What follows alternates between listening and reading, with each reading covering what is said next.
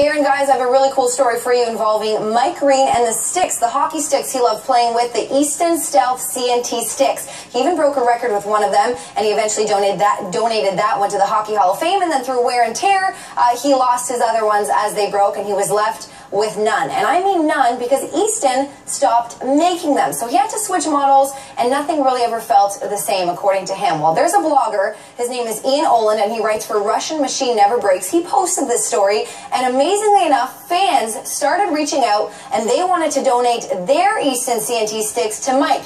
He put the fans in touch with the Washington Capitals and Mike. As you can see, fans are giving their sticks. Some of them were given to them by Mike Green years ago and they were signed and they wanted to give them back. Now, the coolest part of this story is after, just days after he was reunited with the Sticks, he broke a 20-game scoring slump, started producing again, and now in these playoffs, Ian has given him three more sticks that fans have given to Ian. So in total for the playoffs, Mike has eight sticks, CNT stealths that he could play with. He's only got two points so far in the postseason, but if he does score or get on the board, remember this story because the sticks he's playing with were donated by fans.